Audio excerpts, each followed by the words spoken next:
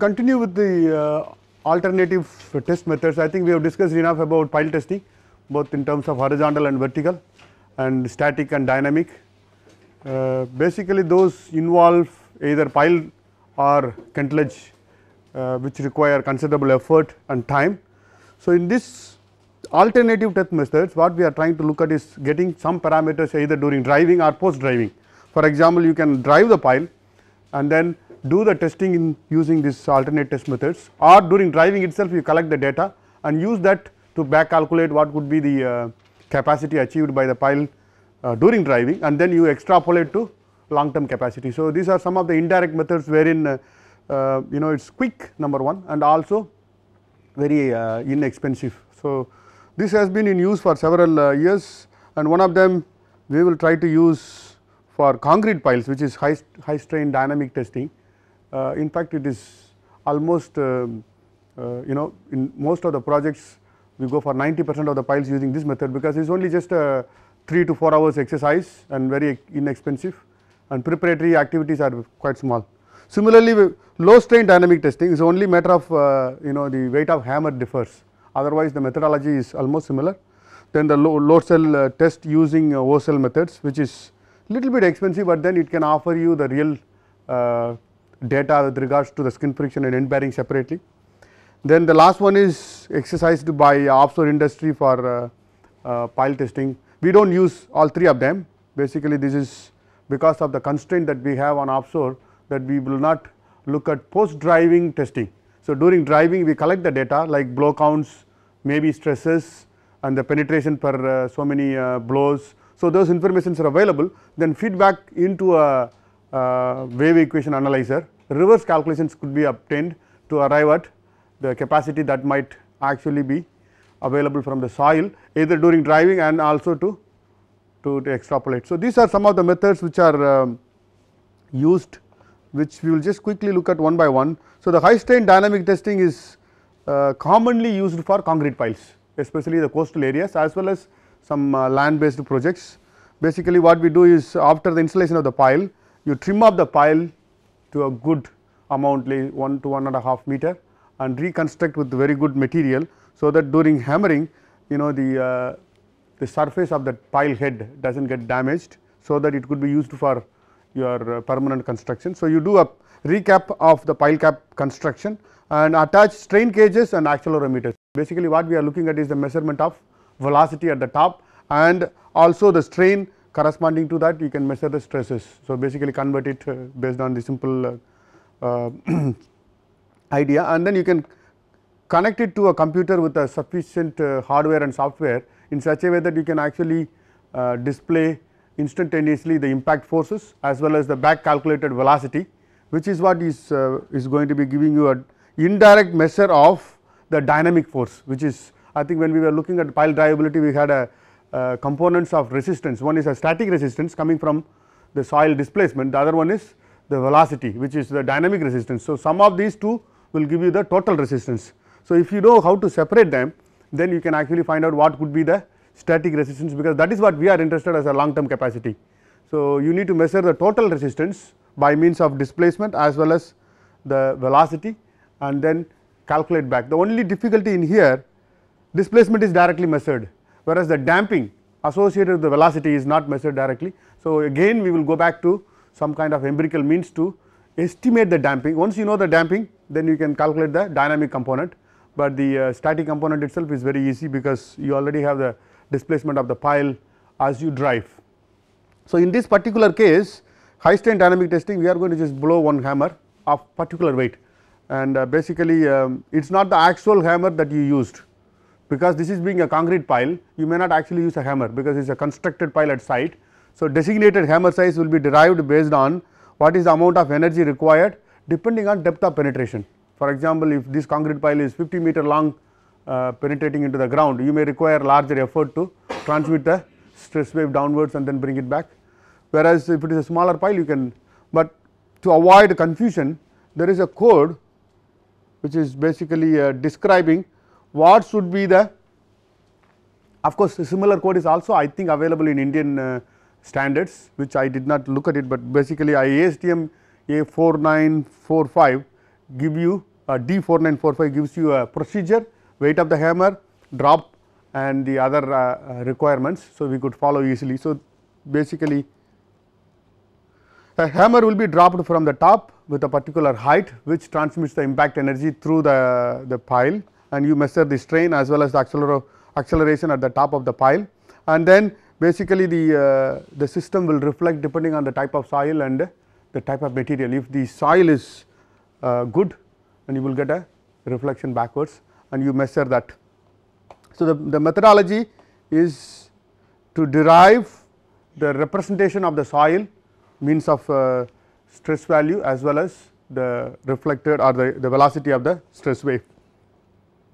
And the force can be calculated using this simple formula. Once you have the measured velocity then the uh, impedance is the area times modulus of elasticity of material by the velocity of the, the stress wave transmitting towards the soil through the pile material. So, you can estimate this. As soon as you have the acceleration you can double integrate uh, integrate and then you can get the uh, the, uh, the velocity. Once velocity is available you can calculate the force back. And instantaneously you can display something like this you can this is one of the, the test in the recent times. So, you can display this uh, at any time and during the impact process and at the time the wave is reflecting. A typical picture this is of course is one of the uh, concrete pile testing this is a pile head this is a hammer in a controlled manner it is going to allow you to fall down and that is the uh, acceleration uh, measurement device and the strain gauges attached to a concrete pile, but of course for steel pile the attachment will be slightly different.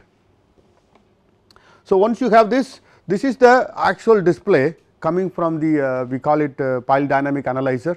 So, you can have instantaneous uh, display of resistance offered at that time as well as the, uh, the measured velocity and integrated measured acceleration and integrated velocity and together. So, the idea is calculation of static resistance is possible only when you have the total resistance which is coming from that uh, calculated force and minus the dynamic resistance if you take the assumed value of damping. Some value of damping has to be taken depending on the representative soil layers. Many times we do actually a weighted average. If you have a multi layered soil for example clay sand and you know the damping values theoretically could be potentially this much and you do a weighted average and then uh, calculate back the the dynamic resistance. So, total resistance minus the dynamic resistance will give you the static resistance at the time of driving then you actually need to re-establish the long term capacity based on uh, certain assumptions of remolding or setup. So, as I mentioned earlier on this also can be used for pile integrity testing normally we do not use the high strain dynamic testing for pile integrity means suppose you construct a concrete pile you have a hollow honeycomb uh, you know due to inefficient concreting or kind of uh, void space. So, the transmission of stress wave will be interrupted. So, the reflection will happen from there only. So, this method also can be used, but commonly we use low strain dynamic testing not for soil resistance because it may not reach the soil. So, many times we use this low strain dynamic testing only to test the pile integrity itself. It can also be used for uh, steel piles where the pile is broken for example at middle if you have a welded connection if the pile is broken can also be used to find out whether the stress wave is transmitting further or is reflecting from the interface at that location. Is the procedure is almost similar like high strain dynamic testing only the energy of impact is smaller. So, that means you can use a hammer instead of a real hammer uh, just maybe few kgs weight not actually a, a bigger driving hammer and the procedure for this method is given in uh, 5882 which is again another ASTM course which you will find an equivalent in Indian courts also. So, pile monitoring during driving what we are looking at is uh, trying to gather as much information only difference is instead of using a, a, specialized hammer you will be using the actual hammer which drives the pile and that means every time you can measure exactly the same data what you are doing in the high strain dynamic testing that means stresses, accelerations as well as uh, you know the blow count for driving the pile to certain particular depth every time. So, you will have a continuous record of the information and nowadays we, we have an instrument which is fitted with uh, the, the GRLWEAP program which we saw the other day which calculates forward given the resistance, dynamic parameters, static parameters, it gives you the blow number of blows required to achieve the final penetration at every depth. Now, the same program is available in this including data acquisition from the, the live driving of the piles. So, you can feed back this information, you can get back the estimated capacity at instantaneously every time you drive. So, that is one of the uh, company, the same company is giving you this program together with the hardware and the software and the interface. So, only thing is they will be on board to assess the capacity. So, you can call them during driving I would like to know what the estimated capacity could be. So, they will come with all the prepared uh, instruments like accelerometers, strain gauges and then the, uh, the software and the hardware interface to measure all this data online and then they will give you at the end of driving this much capacity has been achieved. So, this is one of the uh, method uh, commonly adapted nowadays in, in offshore industry. This is an alternative to uh, actual testing any, any special testing required because that will also occupy more time. In this case you are not giving any extra time for doing this testing is during driving you collect information and this process of analysis will be done and the capacity will be known. The reason why we actually uh, do this is sometime what happened when you are planning for a driving of say certain penetration you go there you drive and then you are unable to drive say maybe uh, 3 quarter of the length is only possible because the blow counts have increased substantially and you stop driving. Now, one of the biggest question is your target penetration you have decided that based on your calculations I need 100 meters. Now, they are able to only drive 60 70 meters. So, what happens you have concluded that theoretically possible to drive and then you are unable to drive in the real practice whether the pile has achieved its capacity because you are going to install the superstructure and then you are going to plan to operate the platform. Now, this decision has to be taken when can we accept the premature refusal of piles. Is it an indication that high blow count means pile has achieved uh, full capacity or is it something else. So, that is why uh, this pile monitoring is nowadays almost mandatory every project you employ them. But one of the biggest worry is many times it becomes a hurdle in, in real practice because even if the pile is achieving 100 percent penetration sometimes this source does not have sufficient capacity because what happens is again there is a manipulation of parameters like dynamic uh, factors the damping factors and that makes the capacity prediction uh, reasonably um, difficult to uh, make decisions. So, that is why this results from pile monitoring has to be very carefully reviewed before arriving at whether the pile has achieved capacity or has not achieved capacity. But in any case uh, you know it is nowadays commonly used for offshore uh, projects to make sure that we get some sense of uh, pile capacity at the end of driving. and I think that is the summary that uh, acceleration is measured using accelerometer, strain measurements to find out the stresses, force is calculated using the uh, impedance and the velocity. It is exactly same thing is done in uh, the pile monitoring system also as well as the high strain dynamic testing. The only thing is pile damping and quake values have to be adjusted until the static resistance are adjust you, you get the matching whatever uh, values that you have actually got and what is being measured. And this is called uh, the program is instead of this program what we were looking at the other day uh, GRLWEAP is a forward program to calculate the uh, the stresses and blow count using uh, wave equation analysis. The reverse program is called CAPWAP is basically reverse means you are trying to get the capacity or so called resistance by giving input as number of blows and the stresses induced and the acceleration measured values will go back into the program. You will get the, the result as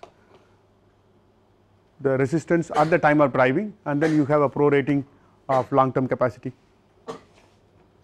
The last method that we want to discuss today is the O cell technology which you can see is a simple device so, this is basically commonly used for uh, concrete piles. I have used for one of the project for steel piles uh, in, in, in a case where we had a very hard uh, rock and we could not install concrete piles then you have to go for steel piles in that particular case and the, the client insisted that we do two tests one using the, the Kentledge test the other one using this O cell so that the few other piles can be done using O cell method. So, for calibration purpose we did do one of the um, test.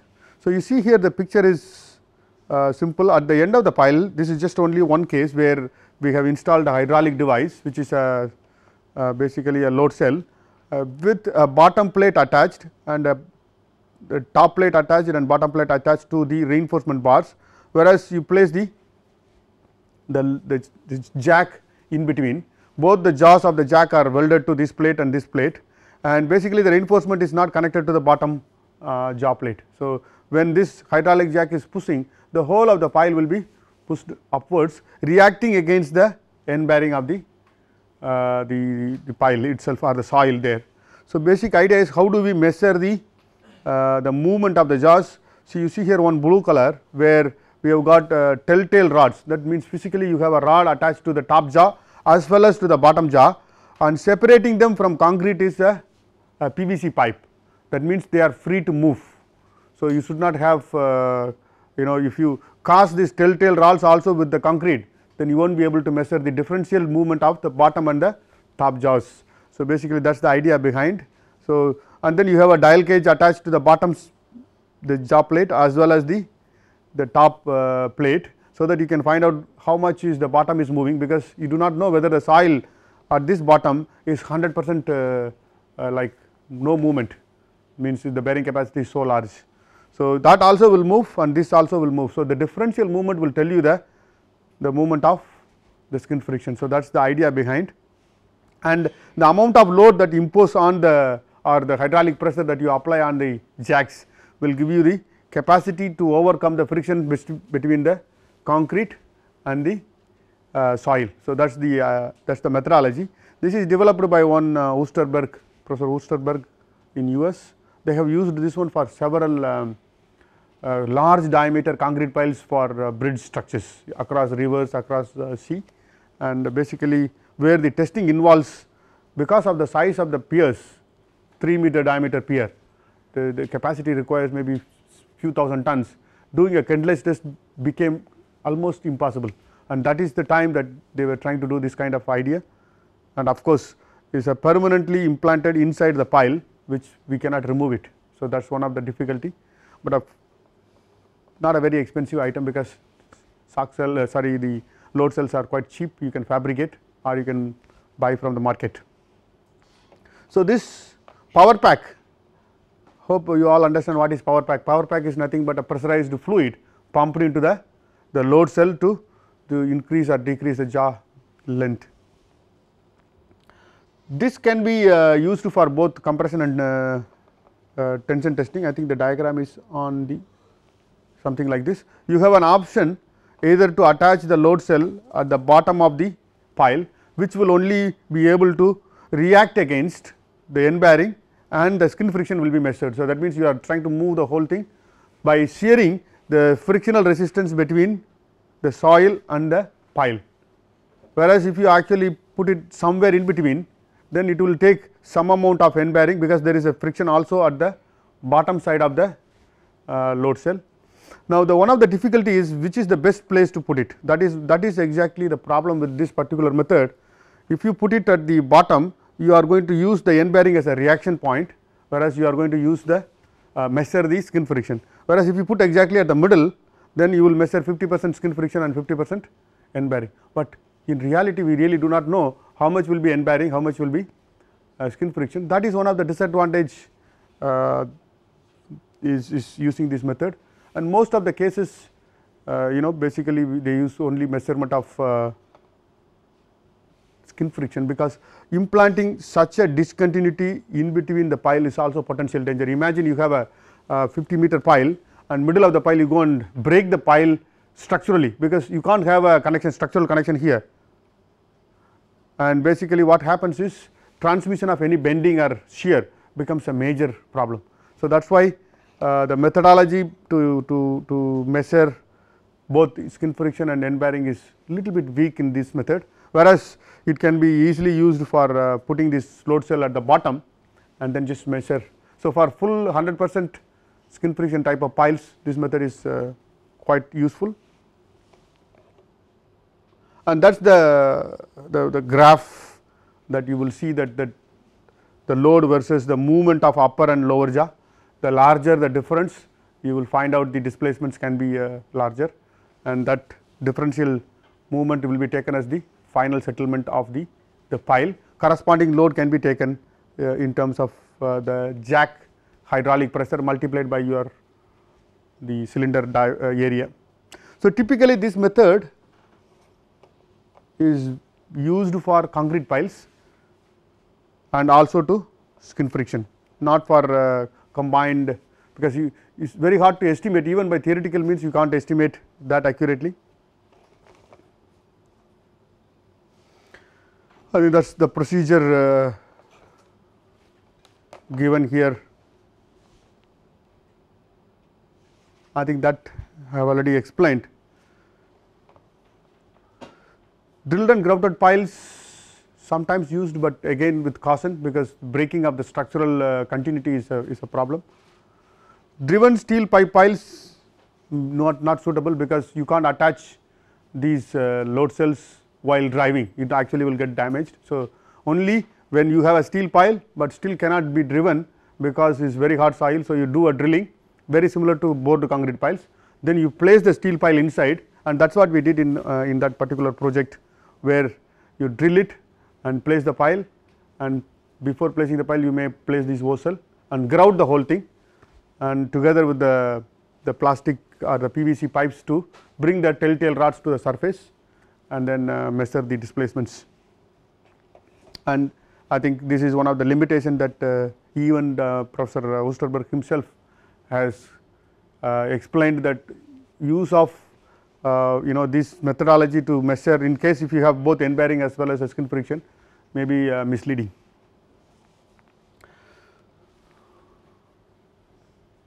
You stop.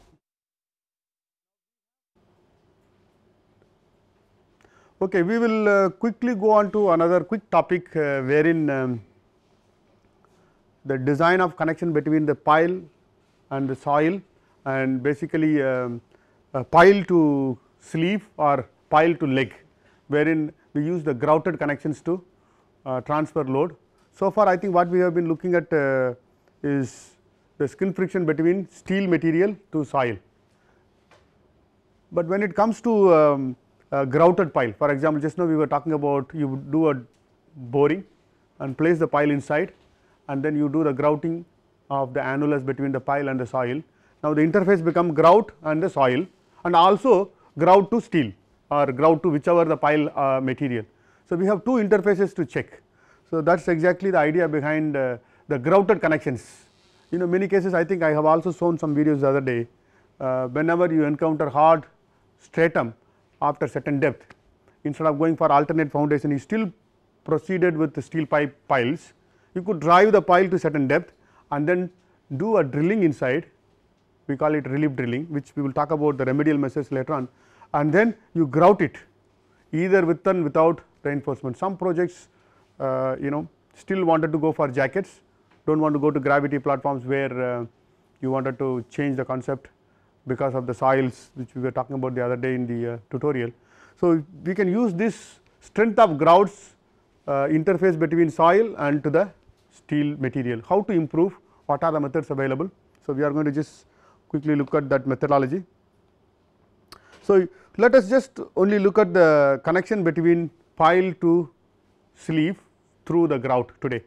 Uh, that means, when the load is coming from the jacket it is going to be transmitted to the, the outer sleeve which is your uh, large diameter pipe through which you are driving the pile into the ground.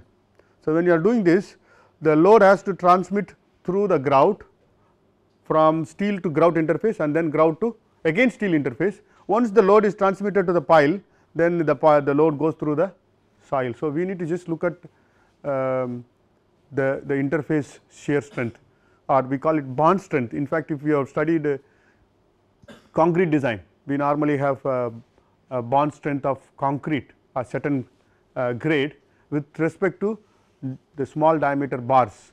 So, imagine you have a mass of concrete very huge mass and you have reinforcement inside when you try to pull the reinforcement out. So, there is a interface bond between the reinforcement bar and the concrete. Now, it is exactly opposite here the grout is very small but the structure is very big.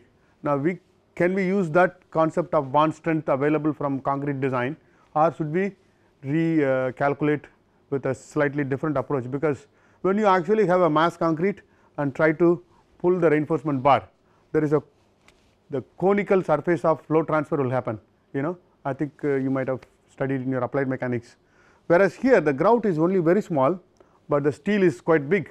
So, when you are trying to do mostly here you will see a surface transfer by friction or by shear. So, that is where you will have a reduced bond strength compared to mass concrete with small reinforcement bar you will have a considerable uh, if, if, you remember uh, you know the bond strength between M30 concrete to a reinforcement bar plain bar could be as much as 1 to 1 and a half Newton per mm square. So, you may not get that much here because the grout uh, space available the load transfer is going to be slightly different. So, we need to find out what is that and how much. So, normally we do um, some projects we do actually a uh, reduced scale test in the laboratory with this type of connections as early as 1990s quite a few projects involve testing. But in the recent times several courts have suggested after doing considerable amount of laboratory as well as full case full scale testing they have provided with a, a simple formula. So, basically the, the, the capacity can be calculated using pi d times L, L is the length of load transfer from this point to this point, pi d is the, the surface of interface between uh, the grout and the steel multiplied by allowable bond strength. Now, we need to determine this value and if it is not sufficient we have two choices either to increase the length or to increase the bond itself. So, how do we improve the bond? So, there are several methods available to do that we will just look at that one by one. Oh, so, this is this is basically given by API using allowable bond strength whereas the one other code where uh, we have is the Department of Energy UK which is a British code but it is not specified in the code it is only a guidance uh, basically the ultimate bond strength instead of allowable bond strength they have given the formula for. So, you can apply a factor of safety over uh, ultimate bond strength. So, then you get ultimate load then you can compare with your uh, working load to for arrive at whatever the factor of safety required. So, if you look at uh, just a enlarged picture of the pile and the outer sleeve, you can see this yellow color is the grout, the annular space filled with the grout. So, what we have done here, you can see some black spots is nothing but a welded uh, shear keys by means of uh, you can actually take a reinforcement bar just bent into the shape of a pile and fit in and do the welding. So, when the pile is trying to shear off these projected uh, steel rods will actually make it slightly increased bond strength which is what the method normally used you roughen the surface. In this case you cannot roughen the surface. So, what we are doing is at a periodical intervals you have a circular bar or circular plate welded all around the pile as well as the inner surface of the, the sleeve itself. So, what happens is this increases the bond strength between the grout and the. Now, if you if you come up with an idea that you weld this one too close what happens this is of no use because the shear will not be produced if you have every uh, you know just one diameter you put one more one more then the shearing surface become the surface of the the, the rod itself. So, which is of no use. So, there is a definitive requirement of which will work which will not work. So, we need to have a spacing ratio this much spacing for this much diameter of the rod and what will be the the annular space required so, if you make this grout space very small then it can't actually mobilize the interface it will fail by uh, shear. So, that is one of the reason why while specifying this requirement API has given certain limitations you could only work within that uh, uh, region of mm, uh, you know parameters which we will quickly look at first in fact we can go one by one. The allowable bond strength in, uh, in, in concrete grade of uh, FCU of some value is given by this, but directly proportional to the height and the spacing of the shear key that you are welding onto the surface of the pile.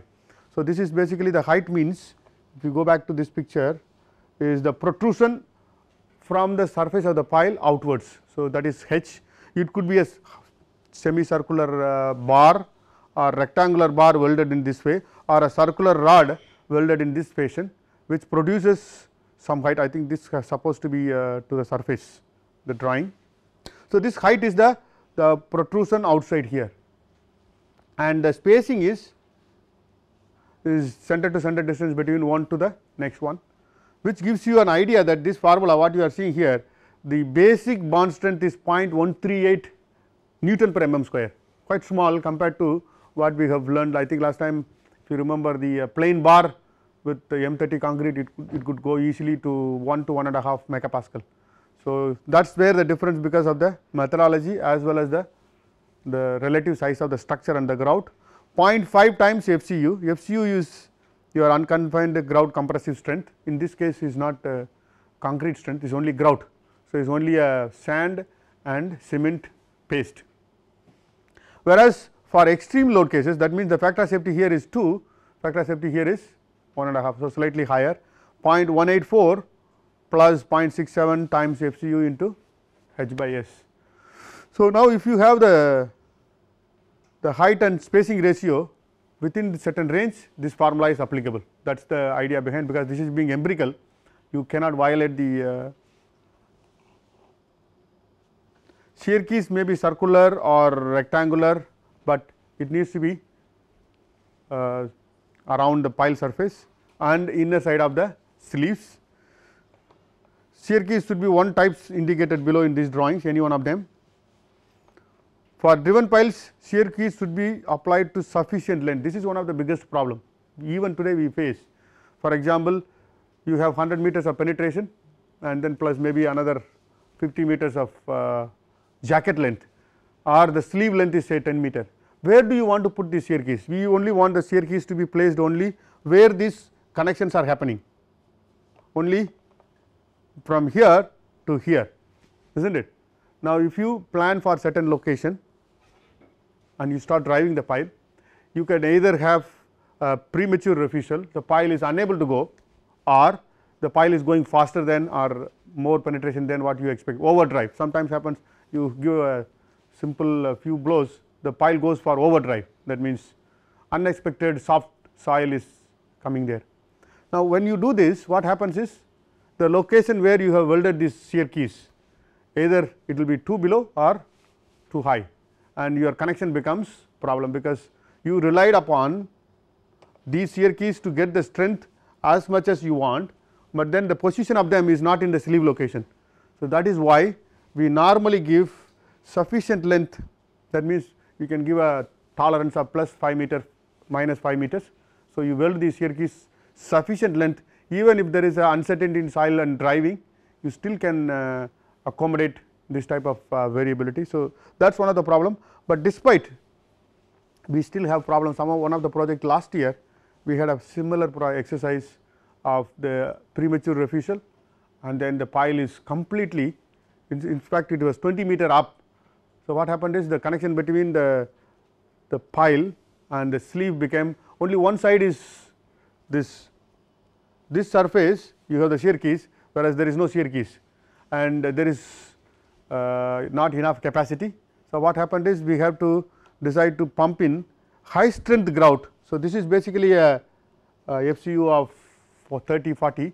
So, once you have such a situation it has to be decided that we have to bring in a, a different grout maybe higher than the uh, expected uh, grout strength and use that as the design values and then you have to prove that with this formula they cannot use anymore you have to go for uh, special testing and prove that that is achieving because this formula is applicable only up to certain grout strength up to F I think 60 I think but beyond if you use a even higher grout strength this formula is not valid because API has not done testing to all the grout strengths. So, that is why the uh, welding shear keys you should not be uh, restricting exactly to the length by which you require. Each shear key cross section should have sufficient strength to transmit the load that means if you go here you take for particular length of spacing how much load is coming and your welding should not fail. In this particular case this is not a actually semicircular uh, rod, it is actually by depositing weld beads. So, you just go around keep on welding to get a shape of this kind you may not get exactly semicircular you may get some kind of shape uh, close to semicircular shape, but it takes considerable amount of time whereas here to avoid such things you just take a circular rod and then bend it to the shape of the pile and just do a fillet weld all around. So, you will get that shape. What are the parameters? So, so this is what I was talking about uh, the FCU values can be from 17.25 to 110. So, this is quite a high strength value and sleeve geometry and the pile geometry they have tested is d by t ratios should be less than 80 and pile geometry should be less than 40. So, when you have a pile outside these parameter that means if your d by t ratio is higher these formulas are not valid. So, first thing you have to check these two parameters and similarly there are various other uh, parameters for example shear key aspect ratio the protrusion outside to spacing should be less than 0.1. So, if you have a 10 mm as your height of that rod or protrusion outside. So, you can multiply so 10 divided by 0.1.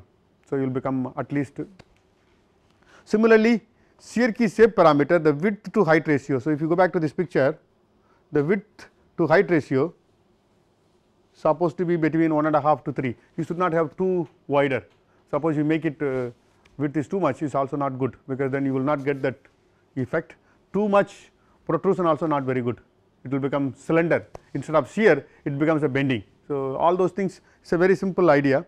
Similarly, the uh, grout annulus diameter to the thickness of the grout dg is given here I think dg is basically the uh, inner diameter of the sleeve which is given here dp is the pile diameter ds is the outer diameter of the sleeve. So, there is outer pipe inner pipe and the grout. So, these these parameters we have to stick to it if you are outside then you can't use these formulas. So, when you are configuring a connection like this when you are doing design you must make sure that you are within these limits and also there is a the product of this concrete strength with H by S ratio should be less than 5 and a half megapascal. So, these are some of the limits to which these formulas one of the examples is to, to I think is one of the previous year question paper so, design a skirt pile connection design means you will have to come up with all the parameters. So, you have to just think about all these ratios and uh, come up with the initial parameter and then manipulate. The maximum design load is 24 meganewton and 30 meganewton diameter and wall thickness is given use API methods and 30 megapascal is the grout. So, you can see here is a simple uh, calculation only thing is you have to start with the right parameter to assume and then uh, progress height is taken as 12 mm. Typically it will be not more than 20 mm. You know make it 20 mm. You already have the annular gap normally is given how much? About 2 inches maximum 3 inches. So, if you have this one bigger and bigger it is not too good. You can't insert the pile inside. So, normally less than 15 mm. And uh, in many cases use 8, 10, 12 that kind of. So, you should remember do not assume 100 mm and then the pile will never go inside.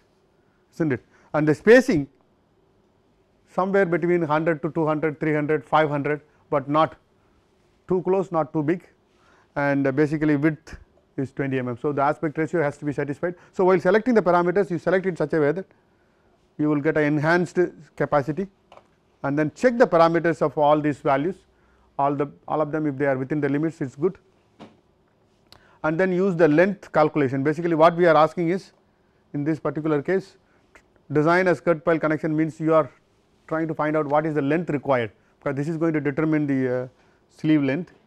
So, the length just use that formula to calculate the allowable bond strength pi d times L times FBA and FBA is available. So, L is not available. So, what we are looking at is the length of the sleeve required and there are two conditions one is the operating case the other one is storm case and basically the factor of safeties are different no. So, that is where uh, for operating case factor safety is 2 for storm cases factor safety is 1 and a half. So, that is what we are using here. So, which will be governing 2 means 48 30 means 30 plus uh, another 15 is uh, 45. So, which is operating is going to definitely govern and that is what you are you are getting a, higher uh, length requirement from operating case compared to storm case is 6.7. So, this 7.2 meter length with a shear key spacing of half a meter with a 12 mm rod with a 20 mm uh, spread is able to get you the capacity of how much 30 meganewton and 24 meganewton for both cases. So, this, this is basically a simple calculation only thing is you need to just select these parameters appropriately.